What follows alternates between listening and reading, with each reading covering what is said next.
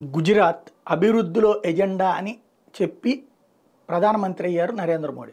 ఆయన దేశమంతా కూడా గుజరాత్ ఫార్ములానే అమలు చేస్తున్నారు అంటూ ఓ పక్కన ఆయన చెప్తూ ఉంటే దాన్ని దేశమంతా నాశనం చేసేస్తున్నారు గుజరాతీలే దోచేసుకుంటున్నారంటూ ఇంకోవైపున వివిధ పార్టీలు కొన్ని మీడియాలు కొంతమంది మేధావులు రాసుకొస్తున్నటువంటి నేపథ్యంలో దాన్నే ఎజెండాగా తీసుకుని జనంలోకి వెళ్తున్నారు ఇప్పుడు నరేంద్ర మోడీ. గుజరాత్ ఎన్నికలు దగ్గరకు వచ్చినాయి హిమాచల్ ప్రదేశ్ నోటిఫికేషన్ అనేది గుజరాత్ కూడా నోటిఫికేషన్ రేపో మాపో వస్తుంది.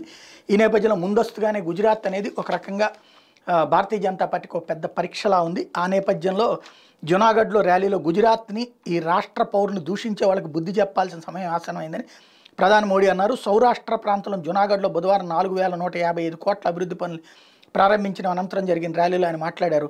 కొన్ని పార్టీలను గుజరాత్ని తిట్టడమే పనిగా పెట్టుకుని అలా తిట్టకపోతే వాటికి సంతృప్తి ఉండదు. రాష్ట్ర ప్రతిష్టను దిగజార్చే వారిని క్షమించాలా అని ప్రజల్ని ప్రశ్నించారు. ఏడాది చివరిలో జరగనున్న గుజరాత్ అసెంబ్లీ ఎన్నికలను దృష్టిలో పెట్టుకుని ప్రధాని ఈ వ్యాఖ్యలు చేశారు. భారత రక్షణోత్పత్తుల ఎగుమతులు గత కొన్నేళ్ళలో ఎనిమిది రెట్లు పెరిగాయని మోడీ ఈ సందర్భంగా చెప్పారు. ఆత్మనిర్భర్ దిశగా దేశం ముందడుగు వేస్తోందని ఒకప్పుడు పావురాలు వదిలితే ఇప్పుడు చేతాలను వదులుతున్నామన్నారు. గుజరాత్ రాజధాని గాంధీనగర్లో ఏర్పాటు చేసిన defence expo two thousand twenty టూను కూడా ఈ సందర్భంగా ప్రారంభించారు.